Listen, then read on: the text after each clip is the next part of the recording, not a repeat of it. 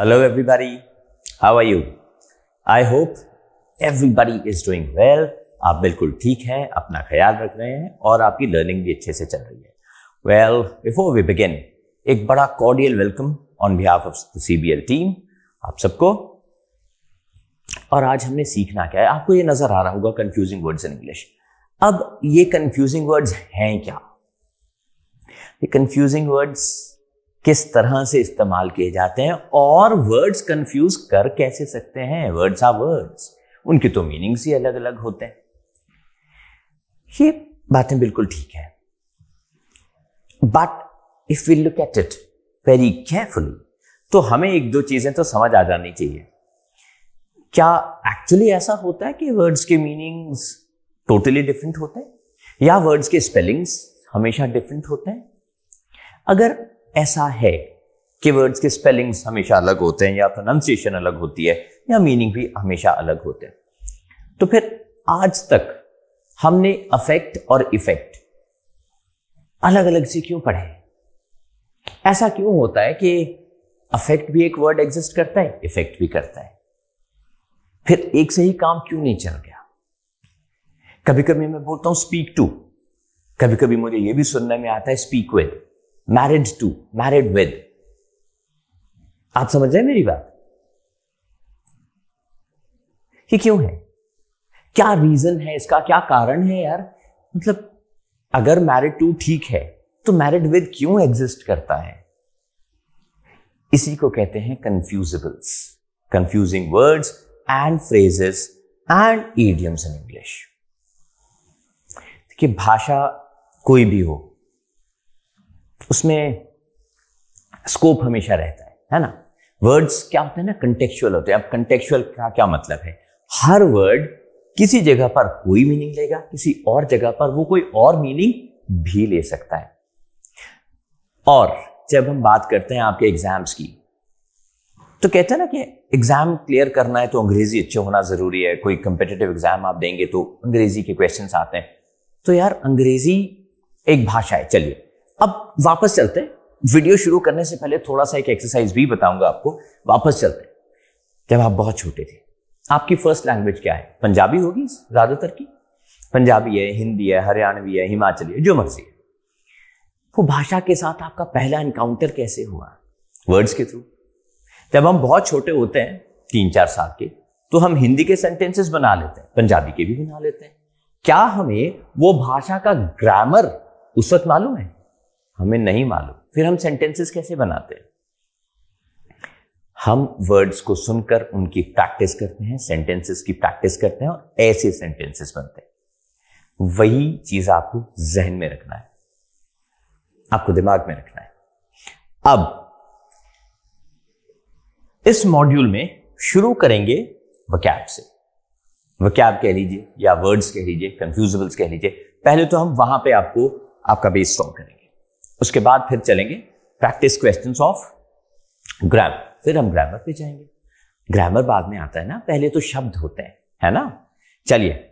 So confusing words in English शब्द से शायद ऐसा लग रहा है कि भाई पता नहीं क्या है रेलिवेंट है भी या नहीं इंपॉर्टेंट है भी या नहीं बट जब आप पेपर देंगे ना तो आपको ये सारे क्वेश्चन याद आने लगेंगे.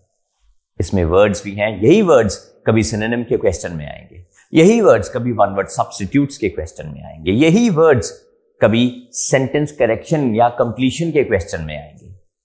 या एनालिजी के क्वेश्चन में आएँगे, है ना? वहाँ पर फिर हम क्या करेंगे? चलिए लेट्स बिगिन अच्छा दो वर्ड्स आपके सामने आ गए भाई। अफेक्ट इफ़ेक्ट जिसके साथ हमने लेक्चर की शुरुआत भी की थी। मैं इन दोनों का ना एक एक सेंटेंस आपको बना के दिखाता हूँ। I shall affect your performance your performance यार सीधी सी बात एक समझ में आने की आ गई है इस सेंटेंस को देख के। हे, ये वाला इफ़ेक्ट हमने यूज़ किया है। अब क्या मैं ई वाला इस्तेमाल कर सकता हूँ? मैं नहीं कर सकता। ये गलत हो जाएगा। क्यों गलत हो जाएगा? समझते हैं? I shall affect your performance ये जो, ये है ना अफेक्ट ए वाला। ये होता है वर्ब चलो, बहुत लोग को लगेगा, यार, एक नई चीज़ आ गई बीच में, पर वो नई चीज़ नहीं है। ये पंजाबी में, हिंदी में एक्शन है। जो एक्शन हो रहा है, उस सेंटेंस में, ये वो है। तो अगर ये एक्शन है, हमें एक्शन चाहिए ना यहाँ पे तो हम वर्ब इस्तेमाल करेंगे। बिल्कुल ठीक है। है ना? और ये हो गया हमारा वर्ब ये होता है ई वाला। ये नाउन होता है। अब नाउन क्या होता है? Noun is the name of person place और थिंग नाउन तो किसी का नाम होता है। इसका एक सेंटेंस में बनाता हूँ। दिस इज़ माई अब नाउन आएगा भाई। अब यहाँ एक्शन नहीं चाहिए हमें। यह फ़र्क है दोनों शब्दों में। और दोनों का मतलब सेम है, लेकिन यूसेज से टोटली डिफरेंट हो जाते हैं दोनों। देखिए। और बचपन से हमें कंफ्यूज करते ही आ रहे हैं, करते ही आ रहे हैं, करते ही आ रहे हैं। है ना? मैं सही कह रहा हूँ ना? अफेक्ट और इफ़ेक्ट में इतना सा फ़र्क है। चलिए। Let's continue right the next one अब ये देखिए स्टेशनरी और स्टेशनरी अब दोनों में क्या फ़र्क है? सुनने में प्रोनाउंस करने में दोनों वर्ड्स एक जैसे हैं, लेकिन क्या यूसेज दोनों का सेम है? इसका क्या मतलब है और इसका क्या मतलब है? अभी we shall find out stationery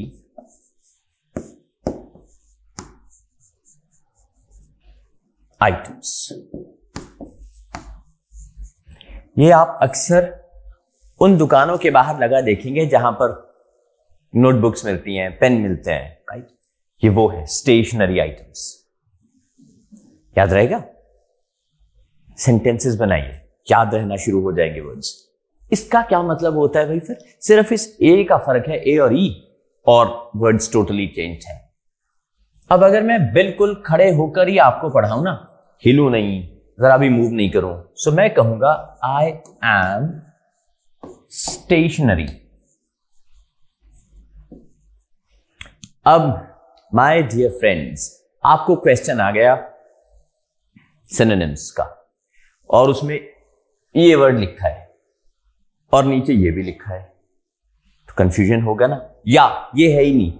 आपने इसको यही समझ लिया। फिर आप गलत ऑप्शन पिक करके आएँगे। हो गई गड़बड़? You will lose marks there वही हमें नहीं करना है। इस लेक्चर को ध्यान से देखिए राइट और जो लोग को हमने पहले पढ़ाया है दे नो अगर आप पहले हमसे पढ़े हुए हैं या कहीं से भी पढ़े हुए हैं, आपकी रीडिंग अच्छी है तो आपको मालूम है कि ऐसे हज़ारों वर्ड्स हैं अंग्रेज़ी में, है ना?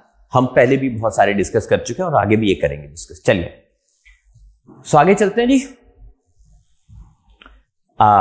किल वर्सेस मर्डर यार, ये बहुत ही इंटरेस्टिंग है और बहुत ज़रूरी भी है। दोनों का मतलब मारना होता है जान से मार देना होता है। अब मैं एक सेंटेंस लिखता हूँ, आपने उसमें गलती ढूंढनी है। I want to murder mosquito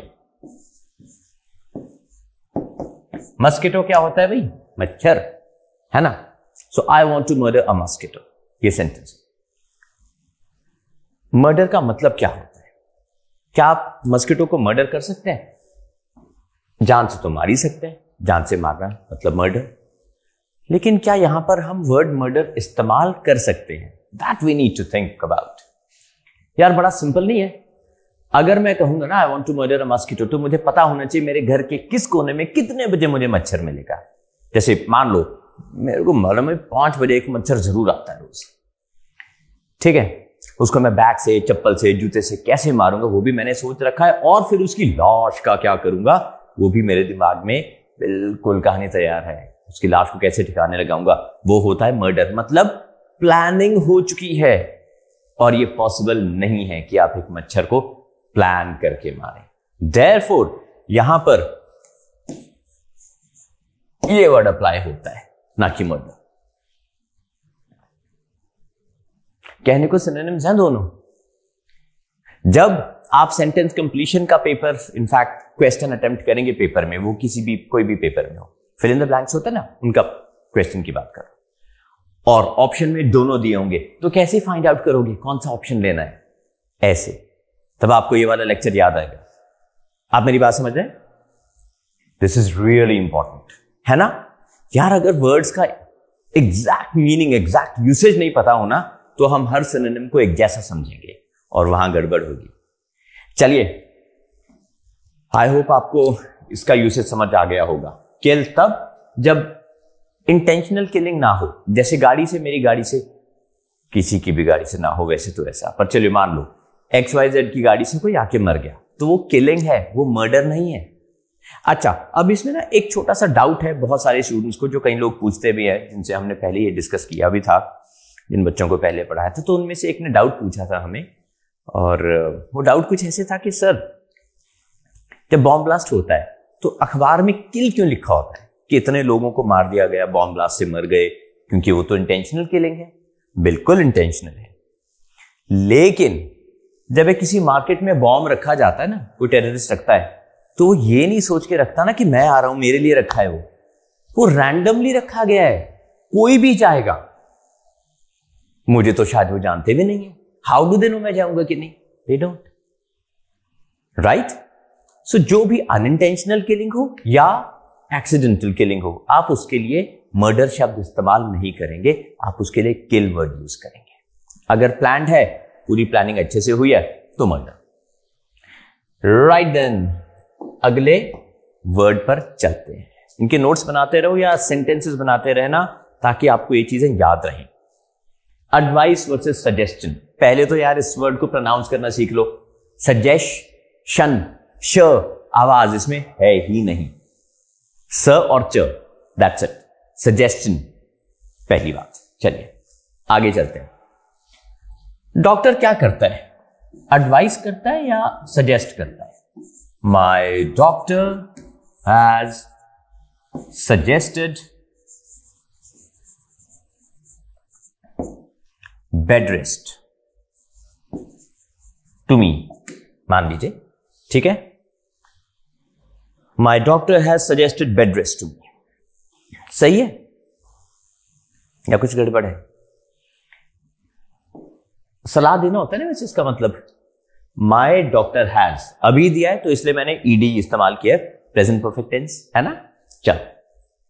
जब हम ग्रामर करेंगे तो फिर ये डिस्कस करेंगे कि कहाँ प्रेजेंट परफेक्ट टेंस कहाँ क्या, वो सब भी डिस्कस होगा राइट चलो, मान लो ये सेंटेंस है। अब प्रॉब्लम ये है, इसका मतलब भी सलाह देना, इसका मतलब भी सलाह देना। पर क्या कोई फ़र्क है दोनों में? बिल्कुल फ़र्क है। बिल्कुल फ़र्क है। ये जो शब्द है ना एडवाइस ये वो लोग करते हैं जिनके पास कंट्रोल होता है अथॉरिटी है, जिनको मालूम है कि आपको उनकी बात माननी ही पड़ेगी। दोस्त देगा ना तो वो सजेशन होगा। डॉक्टर देगा तो यार वो एडवाइस होगी, वो सजेशन नहीं हो सकता। टीचर्स आपके एडवाइस करेंगे। आप टीचर के साथ कभी भी सजेशन यूज़ नहीं करेंगे। पेरेंट्स आपके एडवाइस करेंगे। कभी भी सजेशन यूज़ नहीं करेंगे। राइट ठीक है? फ्रेंड्स के साथ आप सजेशन यूज़ नहीं करेंगे, आप एडवाइस यूज़ करेंगे। बस सिंपल छोटा सा एक कैच है ये अगर आपको याद रह गया तो ये दोनों वर्ड्स को भी आप अप्रोप्रिएटली यूज़ कर लेंगे। ये ना सिंपल लगते हैं देखने में वर्ड्स हैं नहीं। इनका यूसेज इतना आसान नहीं है। अगर यूसेज नहीं मालूम ना तो फिर ऑब्वियसली हमारे ये जो जुगलतियाँ हैं ये हम दोहराते जाएँगे और वो हमने होने नहीं देना प्लीज़ हम्म, चलिए। अच्छा एक बात और बता दूँ आपको। माई डॉक्टर सीईडी नहीं एस ई डी माई मैं लिख ही देता हूँ यार. माई डॉक्टर हैज़ एडवाइज्ड ये नाउन है जो आपके सामने सीई e है. Advised bed rest to me what जो भी है. ठीक है? चले आगे. ओके लाए वर्सेस ले लाए के तो कई मीनिंग होते हैं. पहला मीनिंग है झूठ बोलना, लेकिन अगर हम उसको नहीं भी ले रहे हैं तो भी. एक मीनिंग इसका होता है टू लाई डाउन मतलब लेट जाना। I want to lie down लेटना ठीक है? Lie down in the bed चले। दूसरा ले। इसका मतलब होता है टू प्लेस समथिंग मतलब बिछाना। सो so, इसको भी मैं यूज़ कर देता हूँ। प्लीज़ ले द बुक्स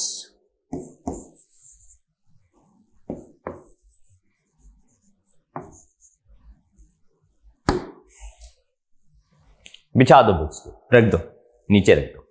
सिंपल अब अगेन देखने में सिमिलर से लगते हैं, लेकिन है नहीं। अच्छा अगला भाई लूज वर्सेस लूज अब ये क्या है? देखते हैं। एक ओ का ही तो फ़र्क है, और उसी से वर्ड चेंज हो जाता है। लूज वर्सेस लूज हम्म एक का मतलब होता है जी, ढीला। दूसरे का मतलब होता है हारना।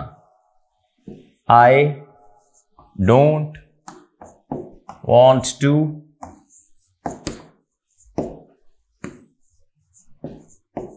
lose you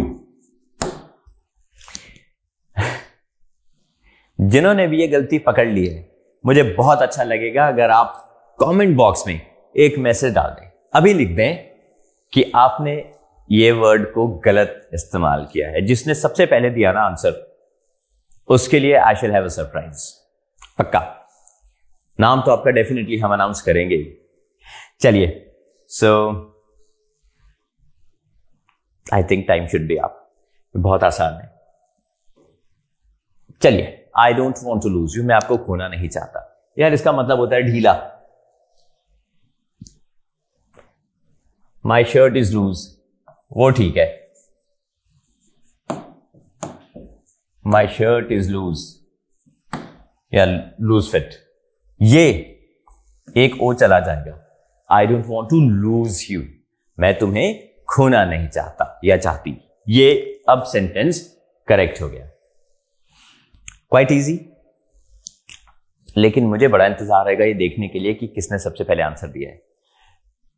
All right anyway versus any way सुनने में तो भाई दोनों बिल्कुल सिमिलर से लगते हैं। सिर्फ़ एक में स्पेस है, एक में नहीं है, लेकिन वो स्पेस से ही पूरा वर्ड चेंज हो जा रहा है यार। How beautiful some language can be any way मतलब आप जिस भी रास्ते पर जाओ you can take any way आप कोई भी रास्ते पर जा सकते हो, पहुँच जाओगे। मान लीजिए दो तीन रास्ते हैं, उसमें से मैं बता दिया कि you can take any way right done हो गया। Done sorry sorry sorry anyway रह गया ना, इसको भी कर लेते हैं। इस एनी वे का मतलब होता है, चलो यार, जो भी हो वॉट एवर एनी वे छोड़ो इस बात इकट्ठा है। और कॉमा आएगा इसके बाद। एनीवे anyway, आप बताइए आपके क्या हाल है? चलो छोड़ो यार अब जो हो गया वो हो गया छोड़ो। ये वो वाला एनीवे है। और यहाँ तो स्पेलिंग भी चेंज नहीं है सिर्फ़ एक स्पेस अलग है और पूरा का पूरा वर्ड चेंज हो गया। दैन वर्सेस देन इसे भी देखते हैं। यार इसको देखने के लिए ना थोड़ा सा ग्रामेटिकल हमें होना ही पड़ेगा। है ना? इसकी यूसेज भी तभी समझ पाएँगे आप। सबसे पहले ये बात याद रखिए ये एक कंजंक्शन है। ठीक है? कंजंक्शन के बाद हमेशा सब्जेक्ट आता है। सब्जेक्ट कौन होता है? जो किसी सेंटेंस में एक्शन लेता है। सो so, और आता ये कंपैरिजन के लिए है। ही इज़ बेटर देन आप में से कमेंट बॉक्स में फटाफट लिखिए। जिसने इसका करेक्ट आंसर लिख दिया ना, सबसे पहले, चलिए टॉप थ्री जो सबसे पहले तीन लोग लिखेंगे इसका answer they will also get a surprise he is better than मतलब मी या आई आप में से देखते हैं कौन इसको पिक करता है मी या आई मैं थोड़े से ना सेकंड्स देता हूँ आपको, चलो, लिखो लेट्स बिगिन इतने एक दो सेकंड्स तक मैं रेस्ट कर लेता हूँ, या इधर उधर घूम लेता हूँ, है ना? जिनको आता है, वो जल्दी लिख देंगे। चलिए डील करते हैं फटाफट। पाँच सेकंड्स और भाई। One two three four five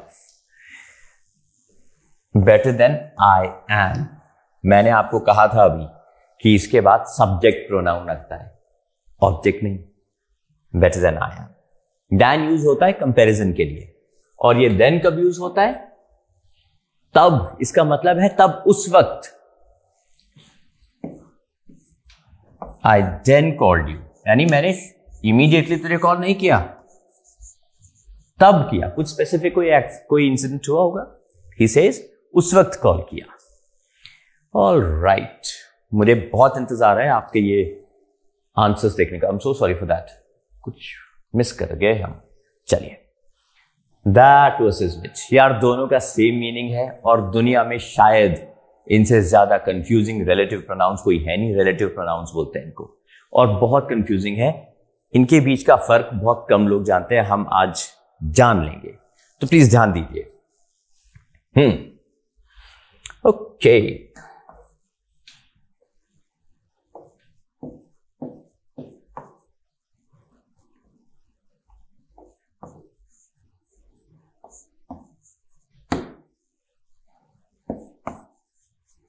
The book that is there is mine. या फिर the book which is there is mine. Is mine. भाई इसके लिए तो बड़ा वाला प्राइज है तुम्हारे लिए फटाफट ये आंसर ढूंढो लिखो जो मर्ज़ी करो I am giving few seconds to you. Right. देखते हैं The book that is there is mine. The book which is there is mine. Thumb rule आपको बताऊँ अगर कॉमा आ गया है तो फिर दैट गलत हो जाता है अगर कॉमा नहीं है तो ही हम दैट यूज़ करेंगे जब हम विच यूज़ करते हैं ना तो एक्स्ट्रा इंफॉर्मेशन हम देते हैं जैसे कि the books the books which are on the table फिर कॉमा आएगा। क्लॉज जब विच वाला क्लॉज खत्म होगा ना तो आप कॉमा लगा देंगे। Are mine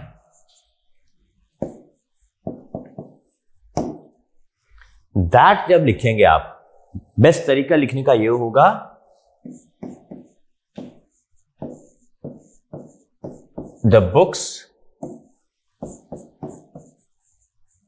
The book in fact singular के लिए तो आप कोशिश करेंगे सिंगुलर के साथ ही दैट यूज़ करें। The book that is there is mind so no additional clause which non restrictive है? दैट रिस्ट्रिक्टिव है। जब हमने पहले डिस्कस किया था तो एट लेंथ डिस्कस किया था, ये रूल हमारे स्टूडेंट्स को अच्छे से याद भी होगा। चलिए, दोबारा फिर करेंगे जी। फ़िलहाल हम नेक्स्ट क्वेश्चन पे चलते हैं। देर वर्सेज देर इसका ये क्या है यार? पोजेसिव प्रोनाउन भाई, दे के लिए। देर कार देर कार और ये ये जगह है, वो राधा, वहाँ। आई वॉन्ट टू गो देर खत्म। बहुत इजी है। प्रीटी सिंपल कुछ भी फ़र्क नहीं है। आई वॉन्ट टू गो देर तो दोनों में फ़र्क है। सुनने में दोनों सिमिलर से ही साउंड करते हैं। हम so sorry for this okay to versus too two too to को बोलते हैं इन्फिनिटिव एट लेंथ हमने डिस्कस किया था ये। याद होगा आपको। टू इसका मतलब होता है भी।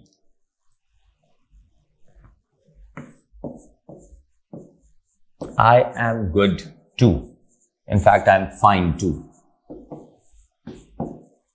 Good American है यार फाइन टू इसका एक्सट्रीमली सॉरी फॉर दैट इसका क्या मतलब है मैं भी अच्छा हूँ और याद रखना ये लगना ही सेंटेंस के एंड पे है ये बीच में नहीं लगता कभी भी I am fine too I am too fine नहीं लगेगा अगर बीच में कहीं टी ओ ओ है जिसका मतलब होता है भी मतलब मैं भी या तुम भी जो भी तो उसके बाद ये सिंगल ओ वाला टू ज़रूर लगाना है आपने। जी, कैसे लगाएँगे? She is too good to be rejected वो इतनी अच्छी है कि उसको रिजेक्ट किया ही नहीं जा सकता। बहुत आसान है। Right right? ठीक है जी? परफेक्ट चल। अच्छा सिंगल ओ वाले टू का भी एक यूसेज देख लेते हैं। He is going to Chandigarh तो क्या हो गया ये? प्रेपोजिशन हो गया जी। He is going to Shimla चलो। दिस इज़ डन बहुत मुश्किल तो है भी नहीं। अगला लेस वर्सेस फ्यू अब यार, दोनों ही चीज़ें किसी चीज़ का कम होना डिटरमिन करती हैं। देखते हैं। I love you less than he does. फटाफट से इसका आंसर लिखिए। आपके लिए फिर एक सरप्राइज़ जीतने का चांस है। फटाफट इसका आंसर लिखो। कमेंट बॉक्स में आंसर इसका डाल दीजिए। The first two people will get a surprise पता नहीं कितने सरप्राइजेस मैंने अनाउंस कर दिया आज। But will stick to our words will keep our promise I love you less than he does तो लेस और फ्यू में फ़र्क क्या हुआ? क्या हम प्यार को काउंट कर सकते हैं? एक प्यार, दो प्यार, तीन प्यार, चार प्यार नहीं कर सकते। है ना? तो फिर ये क्या हुआ? इसका सीधा सा मतलब है कि ये उन चीज़ों के साथ, उन एब्स्ट्रैक्ट नाउन्स के साथ, उन नाउन्स के साथ यूज़ होगा जिनको आप काउंट नहीं ना करेंगे, जिनको आप सिर्फ़ मेजर करेंगे। जो काउंट नहीं हो सकते, जो काउंटेबल हैं, जिनको आप गिन सकते हैं, एक, दो, तीन, चार, ऐसे के साथ आप फ्यू यूज़ करेंगे। करके दिखाता हूँ आपको मैं। There are few students in the class वहाँ कुछ ही बच्चे हैं क्लास में। तो ये परफेक्ट हो गया। Right right? ये फ़र्क है दोनों में। अब इसको और कॉम्प्लिकेटेड इसके जो फॉर्म्स हैं उनको भी देख लेते हैं। फ्यू तो हमने देख लिया कहाँ यूज़ होगा। अ फ्यू और द फ्यू तो भैया एक बात अच्छे से समझ लीजिए। फ्यू होगा कम अ फ्यू होगा ये भी कम। है मान लीजिए एक क्लास में सौ बच्चे, सौ स्टूडेंट्स हैं, उसमें से सिर्फ़ पाँच आए हैं तो आप फ्यू कहेंगे, क्योंकि फ्यू का मतलब होता है negligible as good as zero as zero. Next आपको मालूम है, इस वर्ड का प्रोनाउंसिएशन ज़ीरो नहीं है। जेरो है जेरो और वो उसमें एक डिफ्थोंग है। चलिए नहीं हाउ फिर कभी डिस्कस करेंगे प्रोनाउंसिएशन को। The few sorry a few a few होता है कम, लेकिन कंसिडरेबल यार, वही सौ बच्चों की क्लास में अगर बीस बच्चे आ गए तो फिर वो द सॉरी अ फ्यू हो गए। और द फ्यू द फ्यू इस्तेमाल होता है कुछ स्पेसिफिक के लिए, जैसे कि यही वाले कम बच्चे। So the few students who have come have bunked the few होता है स्पेसिफिक कि यही वाले स्पेसिफिक ठीक है? आई होप ये आपको याद रहेगा। ऑल राइट right, वक्त आ गया है आपसे विदा लेने का। आंसर्स भेजें यार पक्का? और फिर उसके बाद हम अनाउंस करेंगे कि विनर्स कौन है। और बहुत जल्द आपके पास फिर से आएँगे। With new concept new question new words happy learning on behalf of Chetan Bharat learning this is doctor Vikas Kumar मैं आपसे लेता हूँ इजाज़त. Bye bye take care